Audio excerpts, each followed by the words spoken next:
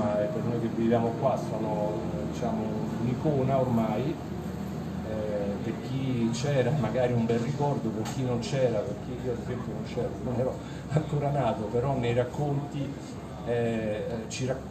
ci immaginiamo una Roma che non c'è più e che anche attraverso questa corsa è possibile raccontare perché l'altra grande anomalia, oltre al fatto di, di partire nel pomeriggio, di correre al tramonto e di arrivare di notte, cosa mai avvenuta nella storia delle maratone olimpiche. Eh, l'altra cosa che, che, che, che, appunto ci lega a noi romani, ci dovrebbe legare a questa storia, è che questa maratona si svolge, a parte il tratto iniziale che arriva addirittura sul raccordo anulare che già esisteva, era appena stato eh, era appena iniziato il cantiere del raccordo anulare eh, nel 1960, poi si svolge eh, sulla via Appia antica e con l'arrivo all'arco di San Costantino, eh, l'arco di Costantino scusate, e, e, quindi anche il percorso è un percorso eh, che ha un senso storico per, per noi di Roma. Ecco, in questo libro, poi dopo il traduttore magari ne parlerà più nel dettaglio, eh, viene raccontata quella corsa dal punto di vista del protagonista. Questo è molto importante, questo libro è molto bello per quello. Eh, e allora è, è, è, bello anche ricordare alcune cose che forse dal libro non emergono perché magari vengono date per scontate dall'autore che ha, ha raccontato una, la storia di un atleta, eh, l'impresa di un atleta conosciutissimo e anche la storia di quella corsa è una storia ormai entrata nel, nel mito, no? la corsa del, del maratoneta scalzo, appunto la città di Roma, l'arrivo di notte, le torce lungo la via Appia.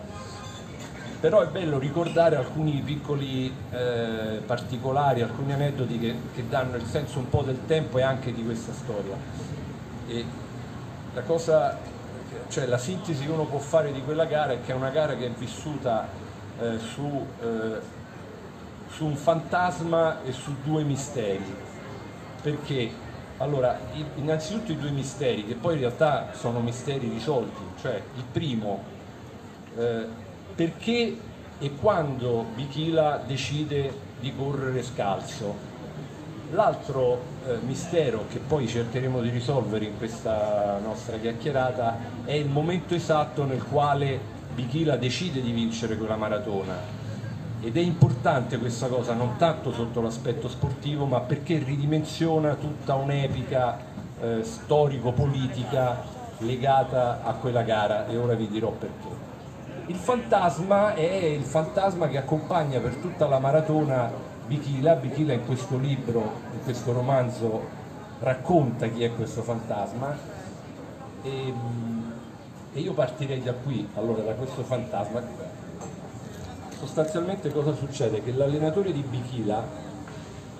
che peraltro anche questa è una cosa molto eh, così, appassionante, secondo me molto intrigante, è un allenatore svedese, quindi siamo proprio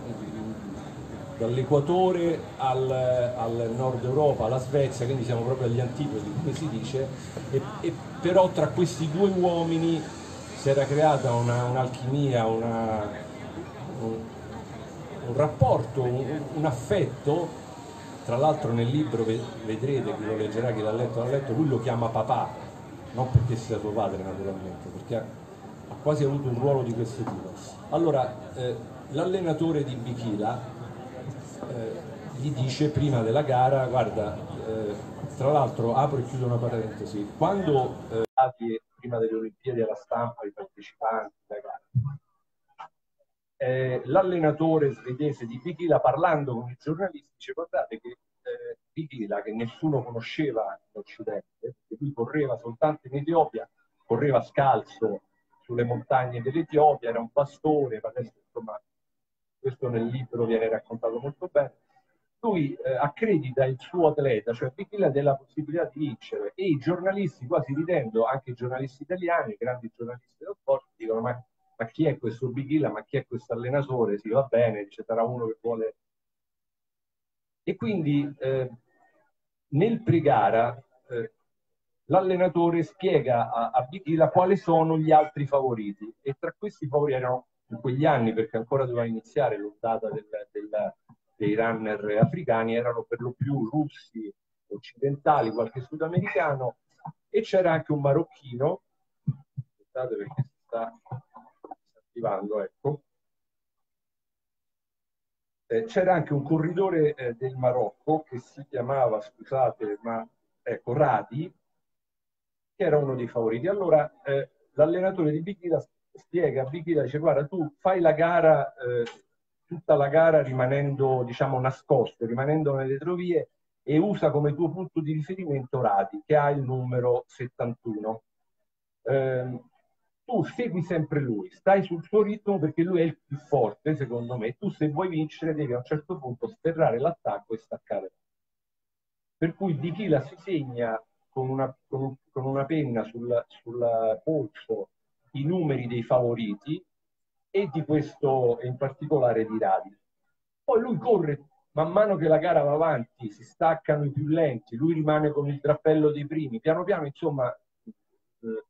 si sfila tutto il trappello dei, dei, dei maratoneti e lui si trova da solo, più o meno dopo la metà della maratona, con questo altro atleta che però non è il numero 71, è un numero 185, che lui dice ma chi è questo? Fantasma per lui, perché lui dice i, i miei avversari non ci stanno più in gara, perché i numeri che si era segnato non, non c'erano intorno a lui. C'era questo 185 che io non so chi è e questo fantasma se lo porta avanti fino al tratto finale della maratona, fin quando a Porta San Sebastiano eh, sente un, eh, non direi un tifoso perché non credo che ci fossero dei tifosi del Marocco, probabilmente un, uno dell'equipe della nazionale Marocco dire a Radi vai Radi, forza Radi. Allora lui capisce che era, che era lui, che quel fantasma era il suo Cosa era successo? Era successo, non si sa se casualmente o perché per una controstrategia della squadra del Marocco, questo Radi, invece di indossare il numero che era previsto dalla, dal schema di partenza, aveva utilizzato il pettorale, cioè il numero che aveva usato nei 10.000, nella gara dei 10.000 di qualche giorno prima, e quindi era rimasto agli occhi di Pichila nascosto, era un fantasma. Allora lui lì capisce che è il momento di attaccare, perché ormai mancano pochi chilometri dall'arrivo, capisce che quello è il suo avversario e che quindi è il momento di provare a staccarlo e per un'altra coincidenza questo avviene a Porta, lo stavo spiegando, dicevo prima con lui, perché questa cosa nel libro non, non lui non la racconta, ma eh, nelle cronache, nelle varie interviste che lui ha dato negli anni lo racconta, perché a Porta San Sebastiano chi è di Roma lo sa, chi conosce quella strada lo sa, finita l'Appia, eccetera, Passata Porta, di San, di Porta San, San, Sebastiano verso diciamo, le terme di Caracalla, c'è un tratto di strada che è perennemente all'ombra, inverno-estate, perché ci sono gli alberi che fanno una sorta di galleria eh, naturale. Questo che significa che in quella giornata di, di, di, metà settembre calda, lì il sole non aveva mai battuto. Ichila che corre a piedi scalzi, e dopo spieghiamo perché, sente anche il fresco sotto i piedi perché cambia la temperatura del, del terreno dove sta correndo, dell'asfalto, e quindi anche psicologicamente ha un input di energia che lo porta da un lato perché capisce che è il momento in cui deve staccare il suo avversario e poi perché a questa cosa parte, va in progressione e vince la maratona. Questa cosa, questo dettaglio ridimensiona il mito del fatto che anche in questo libro viene, viene molto narrato ed è vero, cioè c'era un, uno spirito di rivalsa dell'Etiopia rispetto all'Italia fascista che aveva con la guerra fatto quello che aveva fatto in Etiopia. E quindi nella narrazione diciamo epica di quella gara si dice che in realtà su indicazione del, dell'imperatore etiope eh, Bichila decide, anzi programma di scattare, di fare diciamo, la progressione decisiva passando sotto l'obelisco, di Axum che stava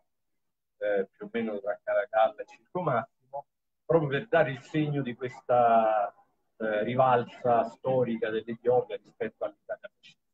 Non è così perché tecnicamente, lo dicevo, quella è una gara, quindi sono altre le dinamiche. È vero che quella gara però alla fine rappresenta uno scatto per l'Etiopia.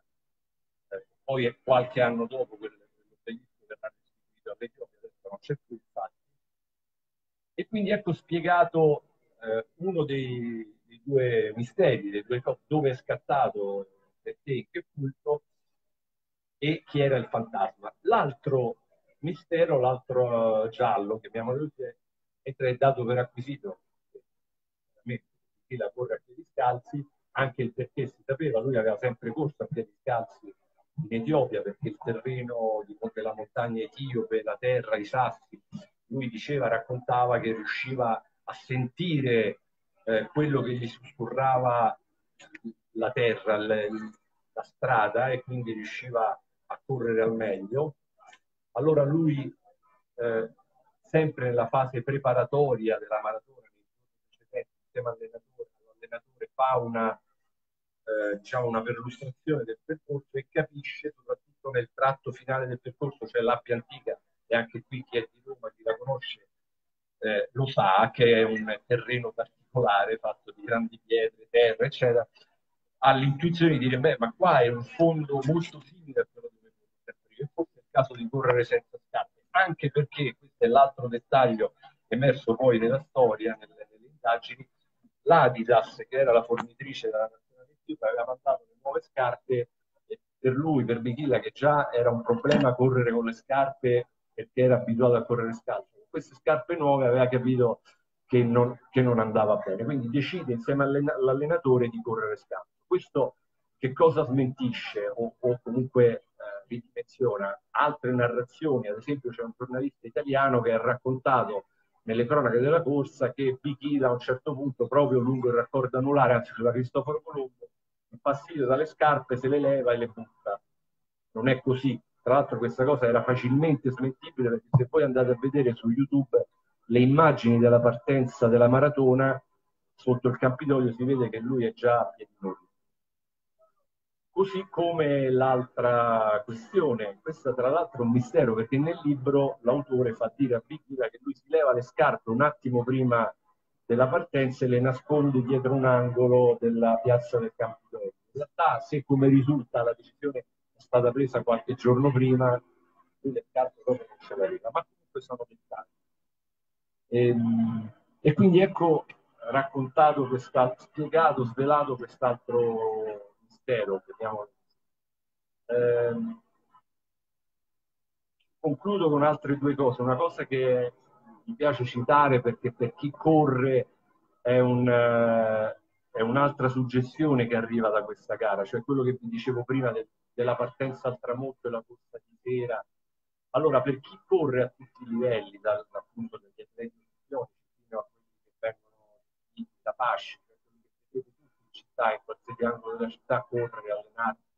nei parchi, tendenzialmente si corre la mattina, cioè la maratona si corre, le grandi maratone internazionali si corrono sempre la mattina. E quindi anche gli allenamenti, le preparazioni che durano mesi vengono fatte con questi schemi, queste schede che si fanno la mattina, eccetera. Per cui poi alla fine questa cultura nel mondo del running ha portato, ha determinato una cosa che tendenzialmente si corre il pomeriggio la sera quando si corre vincolati da pressioni di preparazione, schede, allenamenti, si corre proprio la gioia di correre, il senso di libertà della corsa. Quindi si corre la sera in riva al mare se sta in vacanza, nelle città d'estate, di sera la città è vuota e e quindi c'è questa suggestione, questa cosa strana di questa gara vera olimpionica, quindi una gara tecnica che parte al tramonto, alle 17 più o meno al tramonto, alle 17.45 sotto il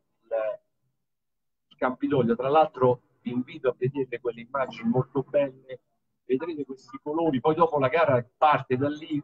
passa sotto il Colosseo, c'è il Colosseo illuminato dal sole al tramonto che ricorda, quasi le Dolomiti, c'è quel giallo del colore delle Dolomiti al tramonto e lì è un'altra cosa di suggestione molto particolare che c'è stata a Roma e non c'è stata mai più. E poi la stessa cosa l'arrivo eh, di notte con le torce, lungo l'Appia e con l'arrivo all'arco di Costantino. Questa è una cosa. L'altra cosa è molto di è un dettaglio che ci racconta com'era Roma nel 1960, il villaggio olimpico che tutti quanti conosciamo, che adesso è un quartiere, ma lo sappiamo originariamente erano le, le residenze delle squadre olimpiche. E c'è una cosa bellissima che ho scoperto leggendo, approfondendo questa, questa storia della maratona di Pila, succede che eh, finite le Olimpiadi quegli appartamenti vengono poi, prima li, li prendeva il comune, diventano abitazioni del comune, poi vengono dati in affitto, poi vengono vendute anche nel corso degli anni e un inquilino di uno di questi appartamenti fa fare la ristrutturazione della casa e trova eh, dei, dei fogli di carta scritti in aramaico. Allora lui si incuriosisce, fa tradurre questa cosa e scopre che erano le, la dieta di Per quello che lui mangiava in preparazione della maratona. E eh, insomma, immaginiamoci appunto Vigila che arriva a Roma 15 giorni prima della maratona, si va a allenare, lui si allenava al campo di polo dell'acqua cetosa, dove adesso c'è il campo di polo dell'acqua cetosa, faceva queste perlustrazioni insieme al suo allenatore in 500, con una 500 c'è anche una fotografia perché sulla raccordo anulare e sulla Cristoforo Colombo nei giorni precedenti non potevi correre perché c'era il traffico quindi. e in parte invece lungo l'Appia Antica per il motivo che dicevo prima prova quel terreno e poi viveva al villaggio olimpico che era appunto il villaggio della, dei giochi e è riemerso da quel passato questo particolare che poi ci racconta anche il segreto, e qui chiudo, di quello con il quale ho iniziato a dire, cioè del perché da lì poi parte la, la lunga ondata dei runner africani, con, con, il loro stile di vita, la loro alimentazione, appunto, questa dieta e le motivazioni, che poi si è cercato negli anni cercare la spiegazione perché i ignoti e gli etiopi corrono veloci. Qualcuno ha detto, ah, perché vivono, sono nati e cresciuti negli, negli altipiani in quota, perché la struttura fisica è quella più vicina nella, nella catena che ci porta dall'uomo preistorico ad oggi e siccome l'uomo preistorico sostanzialmente è, nasceva corridore perché nella preistoria l'uomo per sopravvivere cacciava e per cacciare inseguiva le prede e aveva un vantaggio rispetto alle prede, perché le prede che erano animali, facciamo il confronto con un cane, non sudano. Il cane, infatti, se chi ha un cane sa che se corre si deve fermare ogni tanto con la lingua, quello è il suo modo di recuperare. L'uomo invece che suda e non ha il pelo, aveva la possibilità di correre all'infinito e quindi spiniva le sue prede e le raggiungeva perché quelle si dovevano fermare, l'uomo non si fermava e cacciava. Quindi alcune ricerche dicevano, quindi quella essendo in Africa questo filo rosso più vicino loro so, hanno, ma non è quello, perché poi alcuni atleti occidentali hanno dimostrato che si può anche fare quei tempi essendoci. È una questione di alimentazione e di motivazione. Il riscatto che dicevamo prima, che ha rappresentato Bikila, il primo riscatto dell'Africa, che continua ad essere adesso il riscatto di un paese, che, di, un, di un continente che nella geopolitica è praticamente il, eh, la base di una piramide dove il benessere è sopra e, e l'emarginazione è, e la povertà è in quel continente, quella, quella piramide si capovolge nel, nella maratona e nel running sono i figli di Dio maggiore, io li chiamo così, dominano, sono, eh, lo dicevo a Marco, se vi capita quando a Roma c'è la maratona andatela a vedere, incrociatela perché i primi atleti che sono sempre comunque etiopi o keniani li vedete passare sono uno spettacolo assoluto, sono dei frusci, delle sensazioni che passano leggerissime, quasi si intende un fruscio, appunto figli di un dio maggiore. Poi è il primo occidentale che arriva, che comunque è uno fortissimo, perché a quei livelli sembra un elefante, cioè sembra che la forza di gravità lo tiene attaccato all'asfalto e che fatica a correre un po' meno veloce degli africani. E quindi da lì è partito questo riscatto che non è solo sportivo e che è arrivato fino ai giorni d'oggi con appunto un atleta keniano che per la prima volta è sceso sotto le due ore nella maratona ed è lo stesso riscatto che Geb Selassie, che è stato primatista mondiale fino a qualche anno fa dalla maratona, ha detto noi africani vedendo vincere chi l'ha visto, sapendo la storia di Bichila che ha vinto, abbiamo capito se l'ha fatto lui lo possiamo fare anche noi. E da allora hanno cominciato a farlo. Adesso do la parola a Marco che ha tradotto questo bellissimo libro. Buonasera. Io la storia di Bichila l'ho scoperta quando mi hanno proposto di tradurre questo libro. A differenza di Marco non sono un podista, non sono esperto, però mi piace ripercorrere le parole dell'autore perché quando traduci un libro ci passi tanto tempo, alla fine li vuoi bene, sono un po' anche le tue, nel senso che quelle italiane lo sono. E, e quindi inizierei con una citazione della prima pagina del libro, dell'introduzione. Coer fa una dichiarazione di intenti e dice che questa non è una maratona, è una guerra. Dice che Bichila è venuto a Roma per riaprire una battaglia vinta vent'anni prima. A che cosa si sta riferendo? Si sta riferendo alla guerra d'Etiopia del 36, l'invasione italiana in Etiopia e tutto quello che ne è seguito e delinea immediatamente i due assi del libro. I due assi principali sono la maratona e sono la storia. E poi c'è un terzo asse che è quello del mito che ne scaturisce nel momento in cui la maratona e la storia si incontrano. All'intersezione della maratona reale della storia reale e del mito, che è tutto quello che nasce intorno, emerge la figura di Bichila, bellissima, col pettorale numero 11, i piedi nudi, che corre sull'asfalto di Roma. E che entra in un pantheon di, di eroi neri che vengono anche citati nel libro, che proprio in quell'anno stavano facendo la storia alla maratona alle Olimpiadi di Roma. C'era Cassius Clay che aveva vinto il, eh, l'oro nei, nei medio massimi, c'era Vilma Rudolph, la velocista, c'era Ralph Boston che aveva vinto l'oro nel, nel salto in lungo. E allora che sta succedendo in questo momento? Sta nascendo un eroe e ancora una volta la frase con cui ne parla Coer è questa. Abebe, al momento della partenza, non è ancora nato, Ancora per poco il mio corpo non ha nulla a che vedere con quello che ricorderanno tutti, quando il mio corpo non sarà più mio.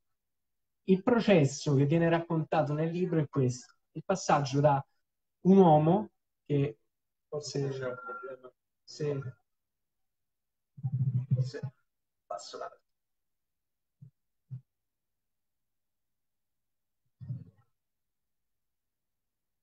Prova. Ok, forse va meglio. All'inizio della storia c'è un uomo che viene dall'Africa, che ha una moglie che si chiama Yewebdar, che ha una famiglia, la madre che non voleva farlo correre, è un ufficiale della guardia del Negus, ha un lavoro, la madre gli dice perché dovresti correre? Hai un lavoro? Perché te ne vai a correre? All'uscita da questo processo, fuori dalla maratona, viene fuori il mito di Abebe che appartiene a tutti e non più al solo Abebe. Quindi dicevamo due assi, la maratona e la storia. L'asse della maratona nel libro è molto realista, viene fuori in tutti i suoi aspetti tecnici, Quer ci, tiene, parla di Onni Niskanen, questo allenatore svedese che aveva portato tutta una scuola di allenamento in Etiopia, alternanza, molto tecnico il libro, la fase aerobica, la fase anaerobica per aumentare la resistenza lattacida, io non capisco bene cosa significhi, ma Quer, facendomi disperare da traduttore, ci tiene molto tutti gli aspetti tecnici della maratona emergono, ci sono la, la tecnica di corsa di Bichila che poggiava il piede in avanti, si parla del muro, di questo momento in cui si esauriscono le risorse di glicogeno e il maratoneta si scontra contro il muro e si ferma. È una spiegazione ideologica, domani dopo Volentieri. È un, è un mito, è un, mito, è un termine scientifico vero, reale, non è il muro del maratoneta. Il maratoneta che tra i 30 e i 30 e qualsiasi maratoneta ha una spiegazione psicologica. Le scarpe, altro aspetto tecnico di cui parla, e in questo momento nello stile di Coer, che è molto composito, c'è il tecnicismo e c'è la letteratura che convivono continuamente, salta dall'uno all'altro registro, il tecnicismo è un po' un modo di stemperare la carica enfatica che, che, tende a mettere nella sua letteratura. E quindi, per esempio, nell'episodio delle scarpe che, che Marco ci ha raccontato in dettagli, è un tentativo di smitizzare, appunto, anche nel romanzo, il fatto di, della rivalsa. A quanto pare ci sono giornalisti che hanno detto che aveva deciso di correre senza scarpe per dimostrare addirittura che un africano poteva correre senza scarpe. Lì Coer scarica il mito dalla sua enfasi e perché è così che scrive? Perché per lui un San Pietrino non è un blocchetto di, di pietra, ma è 64 centimetri quadri di leucite, cito testualmente. è tutto un susseguirsi di, di tecnicismi, la tenosinuvite del tibiale, le bolle di cavitazione, c'è tutta una parte in cui spiega delle bolle di cavitazione che produce un gambero che si chiama canocchia pavone con uh, le chele, è una specie di gambero pugile che, che, sbatte le chele, produce delle bolle di cavitazione e riesce a rompere la conchiglia dei, dei crostacei. E ne parla e si vede che gli piace parlarne. E da una parte c'è questa fascinazione per il tecnico e dall'altra c'è il meccanismo inverso, perché per esempio nelle parole del padre di Abebe, di cui si parla anche, che da giovane era stato Abergnok, ovvero un combattente resistente etiope contro le truppe d'occupazione italiane. Allora nelle parole del padre, che porta negli occhi i segni delle cicatrici lasciate dall'iprite, il gas mostarda, l'iprite, diventano le lacrime di Dio, per esempio. E qui c'è il meccanismo inverso. E qui torniamo alla storia. Iprite, che è uno dei, degli elementi più memorabili, tristemente memorabili della campagna italiana in Etiopia, che dopo la prima guerra mondiale, sappiamo tutti, le devastazioni del gas mostarda era una cosa che tutti temevano e che tutti i popoli europei avevano deciso di non usare più, tanto che persino nella seconda guerra mondiale, dove si è fatto di tutto, il gas mostarda non l'hanno usato. Ebbene, tra una guerra e l'altra, il gas mostarda, l'iprite, è stata usata in varie occasioni contro i popoli che venivano considerati non civilizzati, no? E questa cosa la ripercorre anche il libro. Stupisce che un personaggio come Churchill nel 1919 avesse, si fosse dichiarato nettamente favorevole all'uso di gas velenosi contro tribù non civilizzate, testualmente. E il geliprite fu utilizzata nel sud della penisola arabica dagli inglesi, per soffocare la rivolta del Rif in Marocco dagli spagnoli e fu utilizzata in, in Etiopia dagli italiani, in particolare nella battaglia dell'Ambaradam, a cui è dedicata la via che conosciamo tutti e vicino alla quale passò proprio la maratona di Roma. E tra l'altro forse vale la pena di ricordare che ci devono fare la stazione della metro C e la stazione doveva chiamarsi Ambaradam, però come risultato di un'azione di alcuni attivisti sarà chiamata Giorgio Marincola in memoria di un partigiano eritreo di origine eritrea, un partigiano italiano di origine eritrea. E così è fatta un po' la maratona di Abebe Vitila nel libro che attraversa una geografia romana che Coer conosce bene perché il libro è stato concepito a Roma quando Coer stava a Villa Medici a fare una residenza. Si vede che la conosce bene, passa per le borgate, ci sono le baracche di, di, una Roma ricostruita da boom economico, ci sono le pubblicità dove dovevano stare, c'è Abebe che si stupisce di fronte ai muri delle ville della Via che sono fatte con i pezzi delle statue antiche, vede lui come le aveva detto l'allenatore, e c'è l'obelisco di Axum, di cui ci parlavi prima, no? che è considerato il punto di svolta della maratona. E l'obelisco di Axum è il simbolo delle, dell'Etiopia schiacciata dagli italiani. L'avevano portato nel 1937 per testimoniare, appunto, per celebrare i 15 anni dalla marcia su Roma. E da dove viene il titolo del libro, Vincere a Roma? Dal fatto che il riscatto da questa distruzione dell'ultimo impero africano, Alessia Selassie, che in questo momento nel 60 è il capo politico dell'Etiopia, ce l'aveva ben chiaro, perché non sappiamo quanto ce l'avesse chiaro a Bebe, ma sicuramente ce l'aveva ben chiaro a Haile Selassie, che aveva detto vincere a Roma sarebbe come vincere mille volte. Per questo, passando per la Roma, che è costellata di ricordi del passato antico, ma anche del colonialismo, per Abebe vincere è come vincere mille volte. Emerge quindi la figura di Alessia Lassier, che è un altro personaggio mitico, e quindi il mito che torna. Alessia Lasie è il Rastafari, quello da cui viene il Rastafarianesimo, quello per cui quello che venerano quelli con i dread, per capirci, no? Cioè, se uno è un mito per Bob Marley vuol dire che deve essere proprio un mito grandissimo, è il leone di Giuda, ed è l'uomo che nel 1936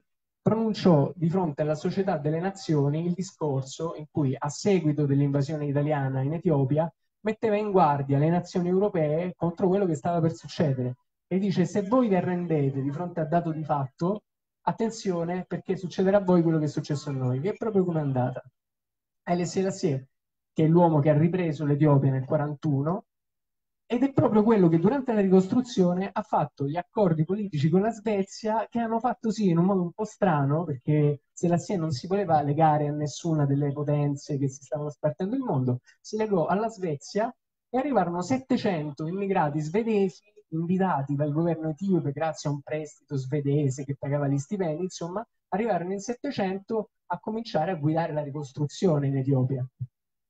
Onni Niskanen era uno di questi, fece amicizia con Selassie, che capiva il valore simbolico della, dello sport, e diventò l'allenatore di Bikila e diventò quello che stabilì questa famosa strategia del restare indietro, appunto come ci spiegavi prima, quella che nel libro se ne parla tantissimo, viene chiamata la strategia del correre nascosto.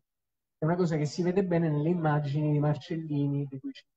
dicevi, no? All'inizio c'è un corridore fra gli altri, alla fine c'è Bikila da solo in mezzo alle luci del, di questo scenario straordinario dell'arco di Costantino.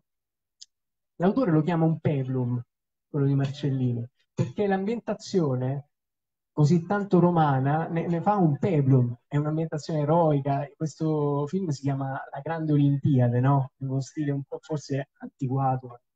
quello di Marcellini, un po' roboante.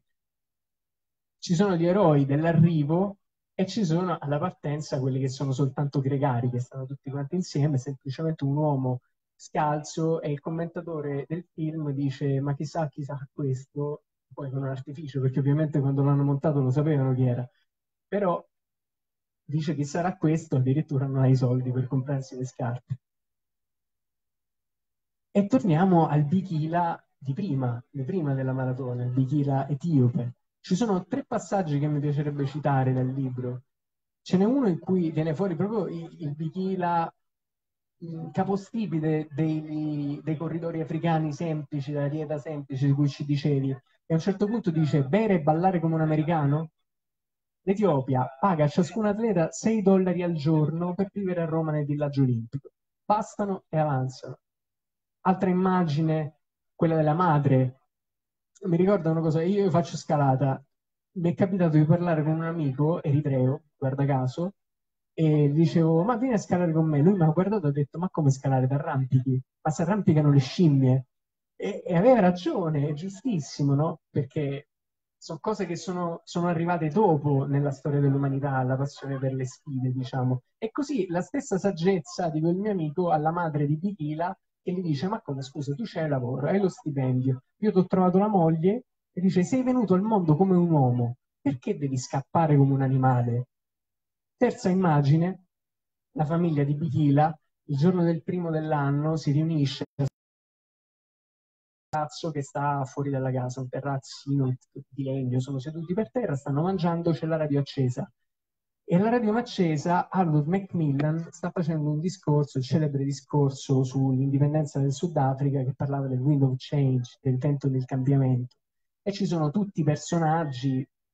i, i familiari di Abebe che si commuovono di fronte che, che sciorinano la lista dei paesi che hanno appena ottenuto l'indipendenza. È una scena bellissima, molto commovente. Viene da chiedersi, sarà vero che i familiari di Abebe potevano ascoltare alla radio il discorso in inglese di Macmillan e commuoversene? Probabilmente no, però viene fuori il gusto per la storia di quest'autore, che è un gusto per la storia che forza l'intimità del personaggio di Abebe. La forza è il punto che ti viene una domanda, ti chiedi a che diritto ha un francese? La Francia è una potenza storicamente coloniale e sicuramente ha ampie responsabilità nel mondo successivo alla decolonizzazione, su, sullo stato dell'Africa. Allora, quest'autore in un certo senso si intromette, no? sta cercando di raccontare un affrancamento che non è il suo e lui se ne accorge e si vede perché la piccola voce, quella di cui ci parlava Marco, è quella che è un po' il punto di vista dell'autore, è quella che continuamente inietta l'enfasi, no? come un tafano che segue Bichila, che gli parla e gli fa le citazioni bibliche, e gli parla di, di, de, della infiammazione del ginocchio, di qualsiasi cosa, e soprattutto continuamente classici greci, spiega cosa sta vedendo. Allora questa voce, che è quella dell'autore, che a un certo punto Bichila si spazientisce anche a sentire, dice stai zitto, ma che sei l'allenatore mio? Questa voce è la voce dell'autore che risponde a un'esigenza di riparazione, perché Marco, tu ci hai parlato dei, dei giornalisti, degli errori che hanno fatto su Bitila. Tutto il libro è in contrappunto con la narrazione che fa della maratona Lois Van, Van Lee, che è un giornalista francese, io l'ho scoperto in questa occasione, quanto pare. Sì, tutto in corsivo. È il commento che fece lui per Radio Anter. È un commento grossolano, lui non sa chi è Vichila, sbaglia il nome duemila volte. Quando c'è la scena dell'arrivo, addirittura lui si immagina che i fotografi abbiano spinto poi dice no, ma quello che ha vinto è Radi, e Radi è forte perché prima stava nella nazionale francese. Allora, secondo me, Coer di questa grossolanità della voce che è stata la voce dell'Europa, che parlava dell'Africa, vuole riparare. E la riparazione si condensa nell'immagine finale del libro, che è l'immagine notturna, come ci dicevi, la maratona è partita di giorno ma è arrivata di sera, l'ultimo tratto si è svolto sull'Appia, alla luce delle torce. Avevano organizzato la cosa in modo che c'erano dei, dei militari che tenevano una torcia alzata e c'era il militare successivo che l'accendeva quando riusciva a vedere il corridore che stava arrivando. Allora lui si immagina la scena vista dall'alto, ci sono le torce che si accendono una dopo l'altra, una dopo l'altra, ed è come un serpente luminoso che si snoda nell'appia buia, di cui i corridori e così arriva Vichila all'Arco di Costantino, fa via di San Gregorio che è illuminata, raggiunge l'Arco di Costantino, è la prima medaglia d'oro del continente africano e ce lo restituisce, come si vede nel documentario dei Marcellini, che arriva e comincia a fare stretching. Quando tutti quanti i giornalisti lo circondano, i fotografi, partono i flash e tutto quanto, lui si ferma, saltella e fa due passi di stretching. E questa è l'ultima immagine con cui si chiude il libro e, e basta. Se avete delle domande siamo qua. Volevo aggiungere solo una cosa che mi è venuta in mente quando hai introdotto anche un altro personaggio che è, pre- è, è, questo libro è sempre in sottofondo presente che è l'imperatore. E anche allora un altro dettaglio, un altro aneddoto cosa che fa capire come ci sia una discrasia tra il senso storico di, di riscatto che effettivamente l'imperatore può fare questa gara e che Bichila in realtà ha fatto un maratonello, quindi nel racconto qui dettaglio, cioè, no? quello che dicevamo prima che non è che lui è scattato. Allora c'è una, è un aneddoto perché l'ha raccontato lo stesso prima di partire per l'Italia viene presentata la, la squadra eh, e quando è il momento dei due maratoneti, ce n'era anche un altro, che come vi dicevo prima, per una questione eh, tecnica sono fisicamente eh, io li chiamo una suggestione, se voi vedete il maratoneta, in particolare il maratoneta etiope o keniota adesso soprattutto, eh, veramente sembra un essere di un altro pianeta, viene quasi da pensare a E.T., questo fisico eh, ridotto, asciutto ma oltre ogni... E l'imperatore, che evidentemente non era corrente di questi aspetti qua, dice a un suo, ma ascol- cioè, non ascoltato, ma lo sentono dire a un suo dignitario, dice ma, come fanno questi due a, a, vincere o a provare a vincere che non, non ce l'hanno la forza per, per, per provare a vincere questa gara? E l'altra cosa che invece mi è venuta in mente ascoltando il discorso che facevi tu, ma l'avevamo anche introdotto, cioè come per l'Africa veramente è un riscatto e come ancora adesso purtroppo questo riscatto non è completato e, e come per loro la corsa è qualcosa che va al di là di una scelta sportiva. Appunto ne, lo citavo prima che Selassie che è stato, cioè qualcuno lo ritiene anche superiore a, a Bichila, ma probabilmente lo è perché è stato eh, detentore del primato mondiale sulla maratona per sei anni di seguito, insomma uno dei più grandi maratoneti di sempre, eh, il quale racconta a chi gli chiede, perché lui nella postura della corsa, se lo vedete, tiene sempre un braccio in una posizione un po' anomala, e lui spiega il perché, lui dice ma perché io, perché per tutta la mia infanzia andavo a scuola di corsa, perché tutti lì si spostavano per andare a, fare, a prendere l'acqua, per andare a scuola, per chiamare il medico, perché la madre di Geb Selassie muore nell'orto e lui viene mandato, il bambino di corsa, a chiamare il medico, sta a 7 km di distanza, non arriva in tempo. e loro andavano a scuola correndo, ma ancora adesso, cioè parliamo di Gep Selassie che non è, stiamo parlando degli anni 40-50, Gep Selassie è un atleta che si è ritirato da poco, quindi vent'anni fa era così, trent'anni fa era così, e lui andava a scuola e correva portando i libri sotto il braccio. Questa cosa gli ha lasciato, lo racconta lui, questa postura eh, innaturale perché lui automaticamente quando corre ha questo braccio che ancora ha la memoria muscolare di quella, di quella postura. Questo per dire che la storia di Bichila è una storia che ancora non è finita, la storia dei runner africani non è finita, continuano a strabiliarci, ripeto, con il record di Coce che è keniota, non è, è sceso sotto le due ore, eh, nonostante questa cosa straordinaria che va quasi al di là delle possibilità umane, perché eh, per avere un, una, termine di riferimento, correre la maratona sotto le due ore significa correre per 42 km e 195 metri, è la misura della maratona, andando ad un'andatura costante vicina ai 23 km, eh, 23 km all'ora. Allora, fatevi un'idea, 23 km all'ora è un motorino praticamente, per 42 km si tengono questa, questa velocità dall'inizio alla fine, anzi alla fine adesso rispetto ai tempi di Bichila, Bichila era un tempo nel quale si cercava di andare più veloci all'inizio per diciamo, mettere il fieno in cascina, come si dice, così dopo se avevi la crisi, ora dico qual è la crisi del, del muro, avevi abbastanza accumulato tempo per poter rallentare, ormai da qualche anno i maratoneti africani partono ad una velocità, tengono quella media appunto di 23 km all'ora per 42 km e anzi nei chilometri finali se ne hanno ancora, accelerano e vanno in la, questione del muro, diceva, è una questione fisiologica perché si chiama questo muro? Perché sostanzialmente al, tra il trentesimo e il trentacinquesimo chilometro la maratona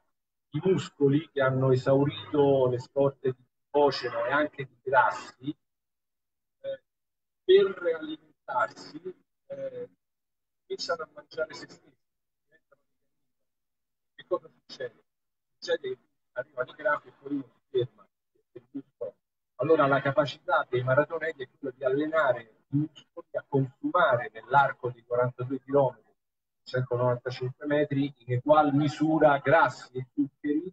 in modo che quando si arriva verso la fine tu hai ancora delle, delle, delle eh, hai una dote ancora di grassi, non di zuccheri, perché i zuccheri comunque li bruci prima, ma te li bruci più lentamente, e ti evitano questa sorta di cannibalismo del muscolo che ancora ha del carburante quindi non vai. Adesso sostanzialmente,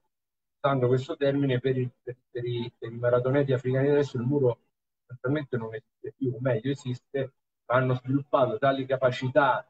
eh, tecniche di allenamento e di alimentazione che, che quel muro lo, lo, aggirano, cioè anzi addirittura dopo il muro vanno in progressione se hanno preparato bene la maratona. Se voi vedete le immagini di Kipchoge che arriva eh, il giorno in cui fa questa maratona e va sotto i, i, le due ore, che non è omologata perché non è stata fatta in una maratona internazionale, l'ha fatta con delle scarpe particolari su un, ter, su un tracciato a Vienna eh, non omologato, avendo poi le lepri, in gergo sono i corridori che tirano la velocità e non è possibile, cioè, però se voi lo vedete arrivare, lui arriva con un sorriso straordinario, accelera, saluta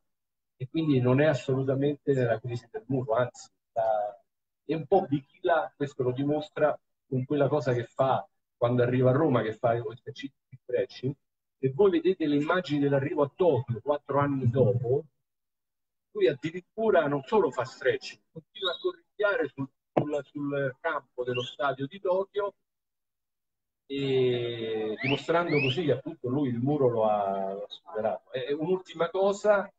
parlavi del film di, delle Olimpiadi di Roma, a Tokyo c'è un altro aneddoto che è legato a Piccola.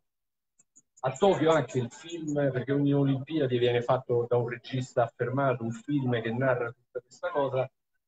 e quindi il film del regista giapponese che fa, che tra l'altro è uno dei maestri del cinema giapponese, fa questo film che ha come filo conduttore il sole, come in Giappone ha un senso, no? E quindi quando racconta Bichila, a parte che fa queste riprese di Bichila durante la maratona che sono meravigliose, parte dalle gambe e poi lo fa vedere questa danza, perché sostanzialmente Bichila non corre, danza, c'ha questa leggerezza con le scarpe, perché lì corre con le scarpe. Poi c'è, un, c'è una, eh, una, parte del dove si vede Bichila di spalle che sta arrivando verso lo stadio, lo sfondo era la giornata nuvola, sul grigio dello stadio, era a colori molto grigio, la maglia verde scura, eccetera. Si vede Bichila di spalle che arriva verso lo stadio e si vede la fiaccola rappresenta questo tema ricorrente del sole, del fuoco, eccetera. E si è scoperto pochi anni fa che quella parte, quel frame è finto, cioè lui fa la parte della, della maratona lo riprende bene. Poi, siccome vuole creare il regista questa immagine, che però non aveva, allora chiama Bichila, si accorda con Bichila e il giorno dopo lo riporta in quel tratto dove c'è quell'inquadratura, gli fa indossare la, la, la, divisa, eccetera, lo bagna in modo che sembri sudato e fa questa ripresa che lui aveva realizzato nel film doveva essere, ma che in realtà non, non aveva fatto durante la vera maratona. Ma perché non l'aveva fatto? Perché in quella maratona c'era un maratoneta giapponese che era secondo e quindi l'attenzione era tutta concentrata su questo secondo maratoneta. Qui chiudo, scusate perché la passione, poi le storie tirano fuori altre storie. Questa è una storia purtroppo drammatica, come poi tra l'altro è anche drammatica il finale di vita di Pichila, che nel libro non c'è, ma Pichila perde l'uso delle gambe in un incidente automobilistico con la Volkswagen che gli regala l'imperatore perché ha vinto una medaglia. Lui ha un incidente e perde l'uso delle gambe. Quindi trascorre la sua parte finale della vita su una sedia a rotelle, ma talmente for- forza, eh, passione per lo sport, lui diventa nelle Paralimpiadi, fa il lancio del, dell'arco e altre attività paralimpiadi, nelle Paralimpiadi dove si impone anche. Dicevo l'altra storia che incrocia con Bichilla, quindi questo giapponese arriva, entra nello stadio come secondo, viene però superato da un belga che gli ruba la medaglia, scusatemi, lui è secondo durante la gara, poi è terzo, poi perde la medaglia di bronzo, che sarebbe stata la prima medaglia vinta dal Giappone nell'atletica. E eh, questo, questo corridore giapponese che aveva sostanzialmente vissuto questa cosa come un tradimento nei confronti del suo paese, eh, si, si autoconvince che le successive Olimpiadi, quelle di Città del Messico, dovranno essere il momento del suo riscatto, del riscatto suo e di un intero popolo del Giappone, comincia a preparare queste Olimpiadi, poi si infortuna varie volte, quando si rende conto che non potrà eh, competere a Città del Messico, non potrà farcela, nel ritiro della nazionale giapponese si uccide. Con un coltello si uccide lasciando un biglietto eh, dove scrive eh, io non posso non è vero che non poteva più correre, non poteva più riscattare il Giappone perché aveva capito che per gli infortuni, per poi il tempo passa, non sarebbe stato in grado di vincere una medaglia a Città del E lì appunto il regista giapponese gli sfugge quella immagine, quella fa perché tutte le riprese sono su questo giapponese che sta per arrivare secondo, poi addirittura adesso, poi invece non ce la fa e quindi gli mancava quel pezzo, il regista lo, lo recupera il giorno dopo con questo